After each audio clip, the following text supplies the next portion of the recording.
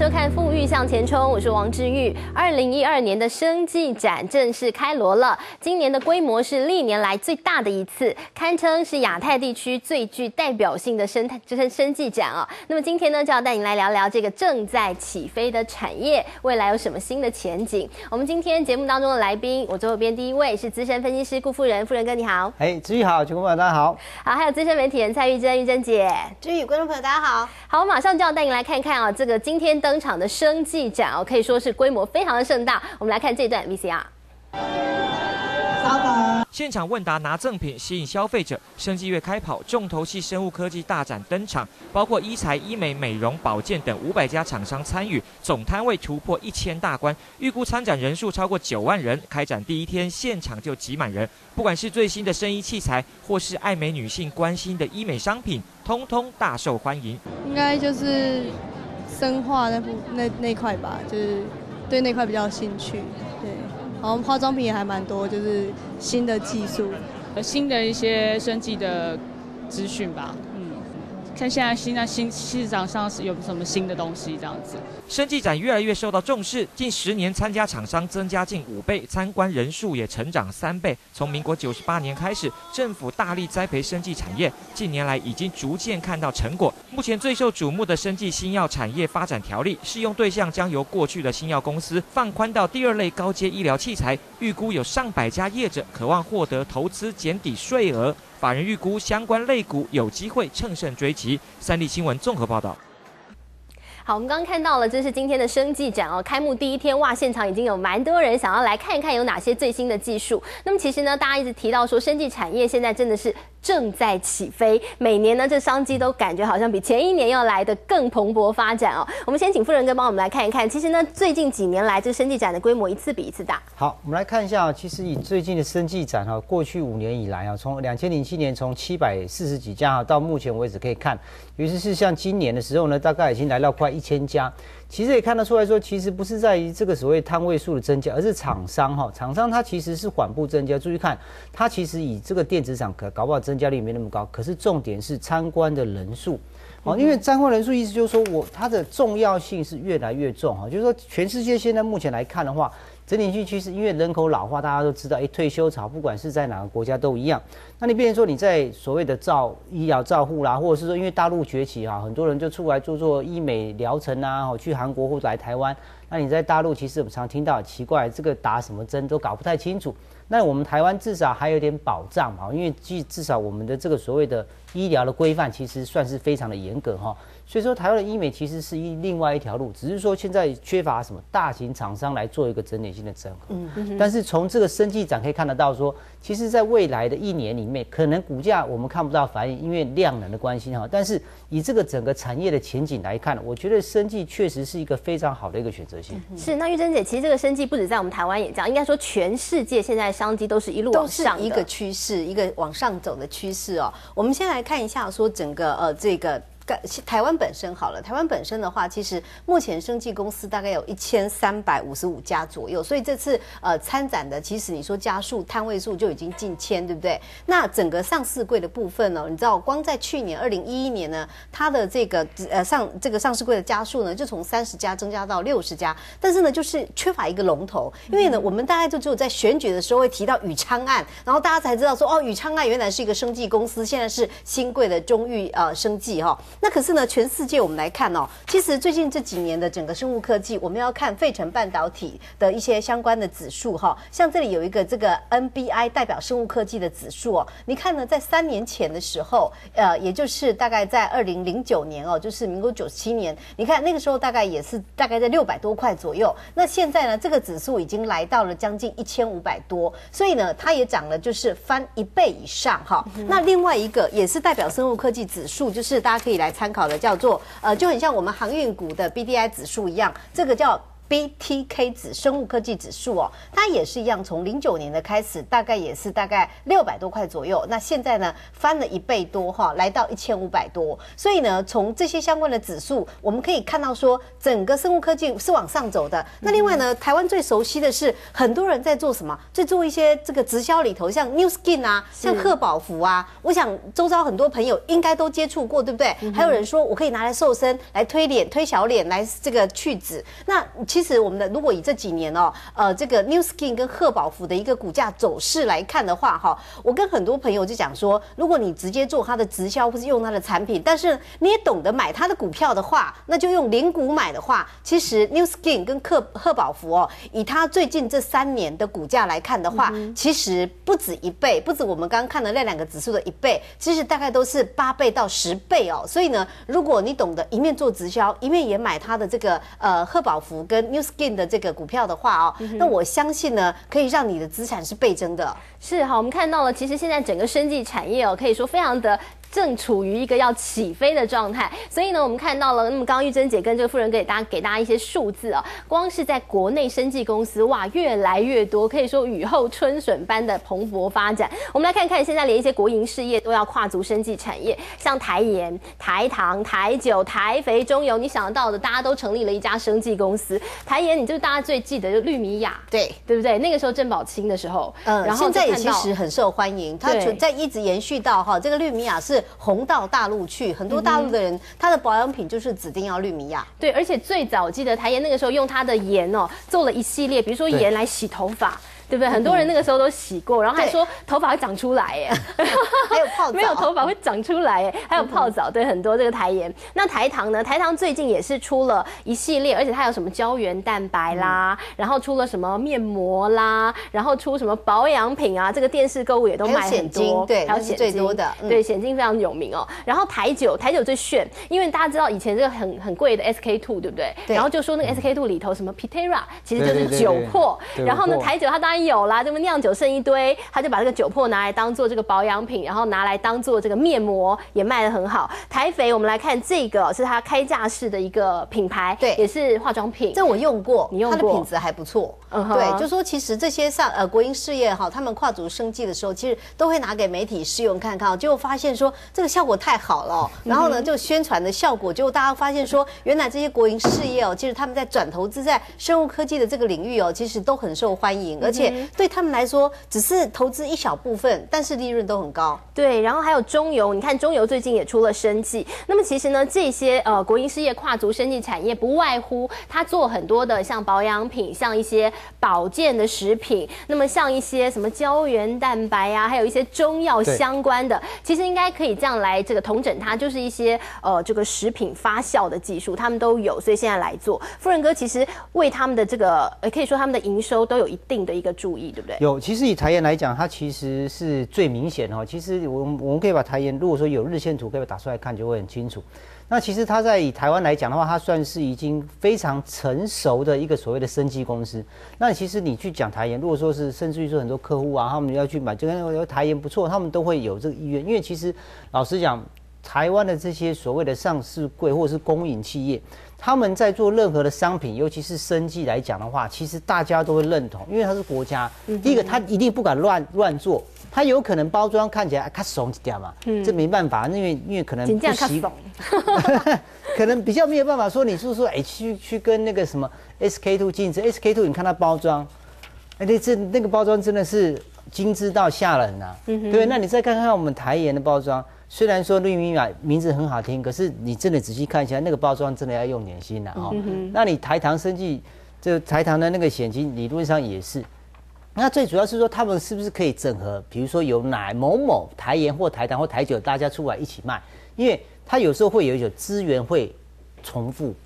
或资源浪费。哦，虽然说有的时候可能是跟啊某某人退休要去哪里做那有关，但是我意思说。以我们产业的长远的发展，以我们台湾的这个所谓国营事业，要让他们变成什么真正的一个利润中心？我讲利润中心，很多老板都听得懂什么利润中心。可是我们的这个国营企业好像就把利润中心当做，就是我在写八节的其中一环，没有很认真看说，哎，这个出去可以赚钱哈，可以把它变成，比如说像我们台湾不是那么多公司，为什么都把它的赚钱的部门分割出来？它那个是有用意在的。是其实我们国营企业也许不不见得你像中油现在不是在炒说要上市，不一定嘛。你把你的中油生技拉出来，然后当做一个生技的整合中心，我相信以以国家品牌来去经营，我觉得对大陆是非常有用。因为我认为大陆这一块市场真的要好好耕耘，趁着他们的生计都应该是说他们的道德没有这么高以前，赶快拉住这些客户，我觉得这才是最重要的。是哈，我们看到这个生技产业哦，大家都想要来分杯羹，所以呢，国营事业几乎是一人一家哦。这国营事业每一个人都来成立一家这个生技公司，都开始发展自己一系列的生技商品。好，那么继续我们就要带您看到，那如果是。推回来谈到这个生技类股的表现哦，其实呢，在过去的历史经验告诉我们说，每一回只要出现那种重大事件，生技类股的表现就会很好。我们最早推推到 SARS，对那个时候 SARS 一大堆，那么包括像是除了药，大家最直接联想药药之外，什么清洁用品啊，做口罩的啊，做医疗器材的，哇，那个股价都是一飞冲天。然后两千零九年那个时候是这个新流感的疫情，然后再来是超级细菌，哇，把它吓死了。还有呢，就是最近的禽流感哦。我们要请这富人哥带我们来看一看，我们看到的这个生技类股，好像每一次都要出大事，然后过去他的经验就会谈上来。好，那其实以这个所谓生计，尤其是说，尤其是怎么样，在疫病发生的时候，其实来看一下，说像是这个所谓美无华它的走势，可以稍微来对一下。哦，这个是它日线，它最近，注意看，最近台股在破底的过程里面，它也没有在做一个破底的动作，它反而是守在这个所谓的均价线之上。那你我们再来看说，其实，在每一次的疫病发生的时候，一定谁会先动？预防。预防的这一个区块，就是比如说口罩类啦，或者是清洁用品类，因为其实口罩是最快速。那清洁用品有的时候，因为有时候肥皂啊，比如说人家说，哎，这个肥皂大家用过啦，可能不太安全，所以要什么喷雾式的啊，或者是要压的，或者是说，哎，自己会带那个所谓的消毒用，哎，干洗手的手，这个这个其实我觉得这是一个自然的趋势，因为我们现在人居住的环境越来越密哈，然后天气又有时候很会很热，或者说你看这个超级细菌是来自哪里？来自于说抗药性，嗯哼，哦，那你变成说你在抗药性，或者说像禽流感，禽流感就是鸡感冒啊，鸟感冒。那鸡跟鸟呢，其实跟我们人的呼吸系统很接近。那它只要感冒，我们虽然体积比较大了哈，可是我们也会加减会受到感染。那你变成说你在这个情况底下呢，大家就会很注重这个医疗，就是所谓的口罩。小孩子出门，我发现到只要有禽流感啊，对，大家都戴口罩，绝 对。绝对没有少的，是哦，只差没有带三层，天气太热带不住哦。可是一定会带，那大人可能偷懒不想带，可是小孩一定带。可是理论上，如果小孩带，大人也要带嘛。哦，所以这个这个是，而且大家都会去什么样扫货，我就觉得很奇怪，预预期心理嘛。对对对对，我觉得被买光。对，所以所以所以那个情况底下，就是说，如果说你手中有像这类型的个股，等它上去的时候，你就可以稍微做一个所谓的减码啊。但是如果说你长期投资，确实是 OK，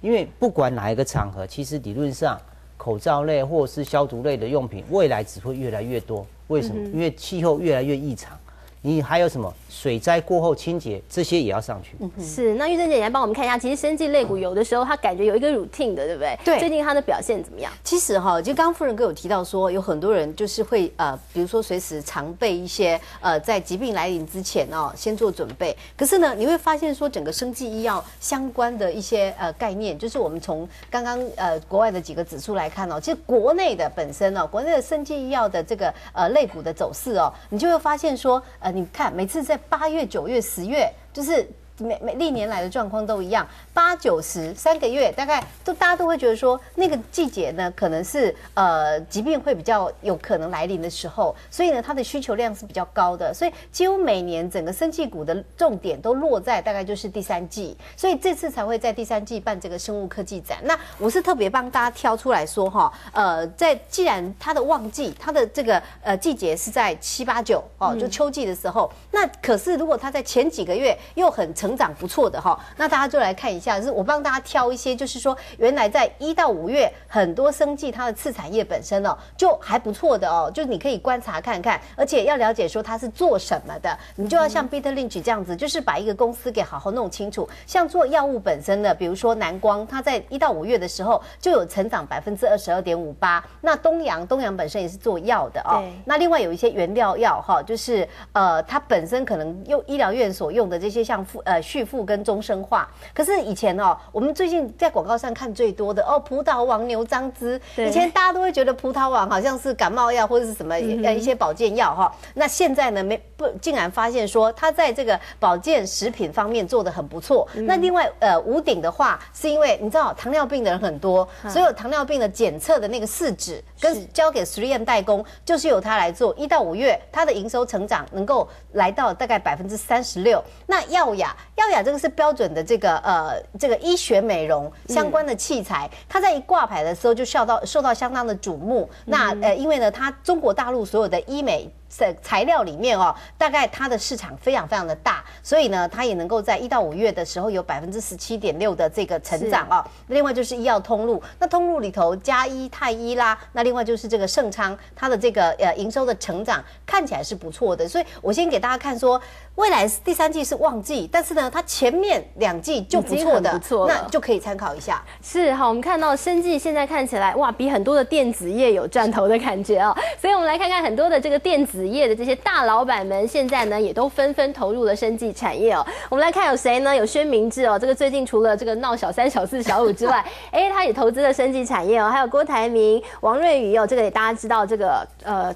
台塑声音嘛，另外连王文洋都投入哎，我们来请这个富人哥，你来看看哦，是不是真的连这个投资生技产业，它真的是这个利润空间高于电子产业？呃，确实，因为现在其实我们留意一下，就是说我们现在已经走到一个所谓的电子产品传产化，就是说你现在如果没有网络，你可能 k i l k 没有 iPad，你可能把 k i l k 没有 iPhone，你把 k i l k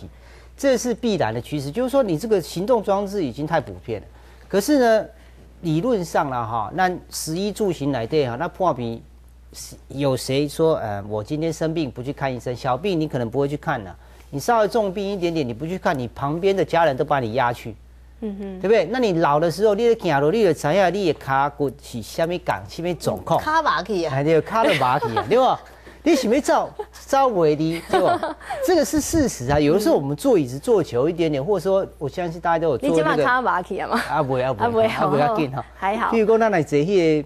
呃经济舱，老实讲，你如果坐四个小时以上不要动，你就会知道。哦，有一些其实其实我觉得这个是人口的老化是世界的大趋势。嗯哦，就是虽然说我们现在农年出生率有增加哈，可是毕竟为就是说其他十一年大概都下降。所以呢，我们看到这个企业大老板们，他们真的是是大趋势的马首是瞻，他们已经看到生技产业的发展。对，玉珍姐，带我们来看看薛明志他投资的是什么？呃，因为哈，他们都发现说，你说做半导体哦，那要保三保四非常的辛苦，但是呢，去做这些生物科技哦，其实有时候是整用。倍去赚的哦，不止在毛利，他们大概都能够达到七五六十趴以上哦，五六十趴，对，生技生技的毛利是非常好的。红海的毛利才多少？红海是保三保四，保到现在呢，呃，又去转投资夏普，赔成这个样子哦。所以大家会发现说，呃，你说像友达好了，友达去年赔掉六百一十五亿，如果说他挪一部分来去做这个生技产业的话哦，对，那一定不知道赚了多少钱哦。那薛明志的话是因为，呃，这一阵子大家都知道说，他除了联电副董事长，然后另外就是致远哈。致远的董事长，可是呢，他。以这个科技大亨的这个角色，为了要让自己永葆年轻哦，然后让自己在呃小三、小四、小五面前可以维持青春活力，所以他最近的新的动作是到这个东莞哦，他东莞有一个叫做松山湖的高新区，那是跟他的儿子呃宣长友那一起募集了大概将近三呃一千到三千万美金，那准备来做整个呃生技产业，呃就是整个生技园区哦，叫生命先锋生技哦，感觉上。是呃，对一些这个年轻啦、创新啊，有一些呃投入。那郭台铭的话哦，因为是他的弟弟，就是他最疼爱的这个郭台成哦，过世之后，其实他不断的呃花了很多资金，那也捐了这个呃这个医疗中心。所以呢，郭台铭在这个部分的付出其实是不遗余力，包括他的前妻的林淑如过世，然后让他在生物科技这个产业呢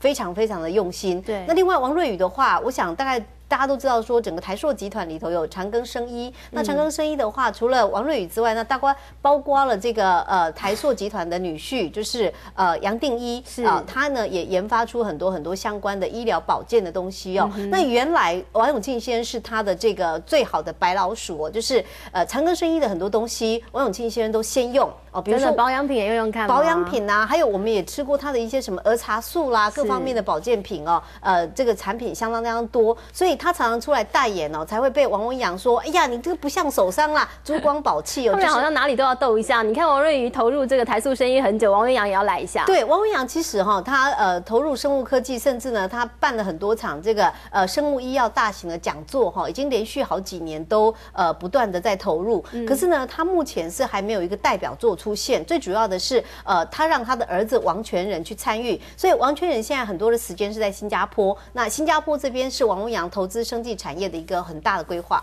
是我们看到这么多的企业大老板哦，那么本来都是在做电子产业的，现在呢都要转战这个生技产业，大家就知道哇这块饼有多大了。大老板往那个地方去，我们要好好来注意一下喽。我们先进一段广告喽，下一段回来我们继续带您来看一看这个生技产业的市场到底有多大。现在呢可以说两岸三地的医学美容呢也是一个非常大的市场哦。这个医学美容到底要如何发展呢？我们马上回来。